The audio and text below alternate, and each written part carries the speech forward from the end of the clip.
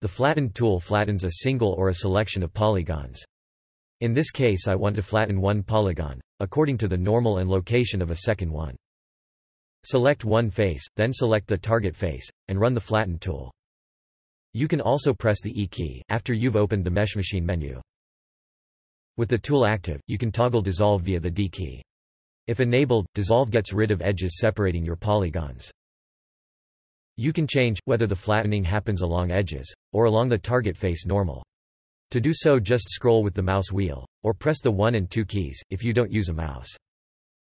In this case it makes no difference what I choose. Let me demonstrate why, with the next example.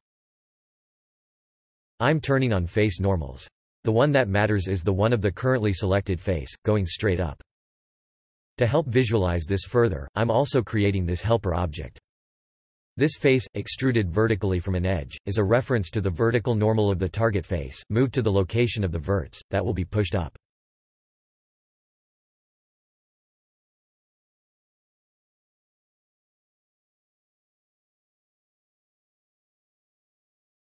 In normal mode, it goes straight up because the target face normal does the same.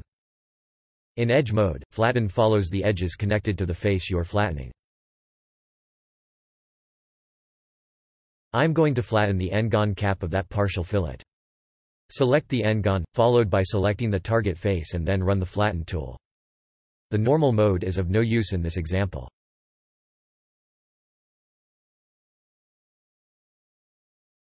This is the exact same example, except, it's just a single face. You can flatten single faces, by making a selection of exactly three vertices. Three vertices will always create a perfectly flat plane in space. And this plane's normal, is what is used for the flattening.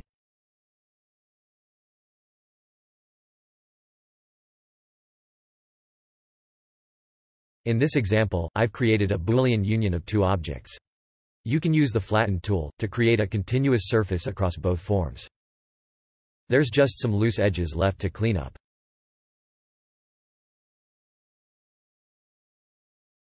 You can do the same to this face.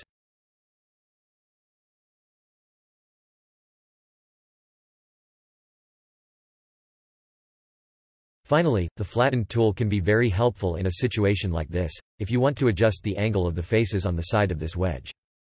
Establish which three vertices should describe the face orientation, and adjust them accordingly. Then just run the flatten tool. I'm doing the same on the other side, but using a different vert. Flatten is a simple tool, but can be quite versatile.